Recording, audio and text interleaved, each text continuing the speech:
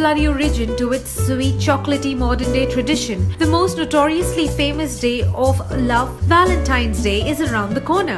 While various douchebags roam around in red on this day, I am certain that majority of them have no clue about the exact idea and the origin of this. Thus today, I have got you some insane secrets of Valentine's Day scooped out just for you. The most popular theory about Valentine's Day origin is that of Emperor Claudius II didn't want Roman men to marry during wartime.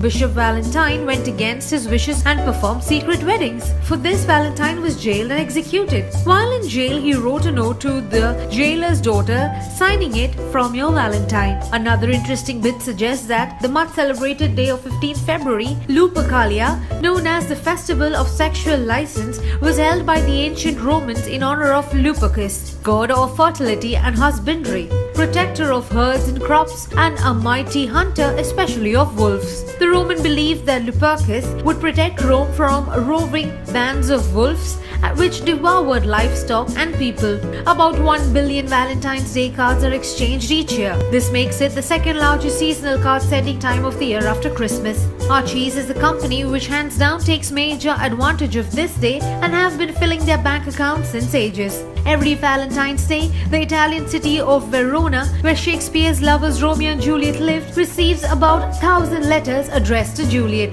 There are about 6 major variety of Valentine's Day cards which are sold, varying from poetic cards, blank cards, nature cards, the no image card, the musical card, the seldom said card, and each of these cards defines your feeling towards your Valentine. So these are the few facts and secrets about Valentine's Day. On the behalf of Team Connect the Dots, we would love to wish you a very happy Valentine.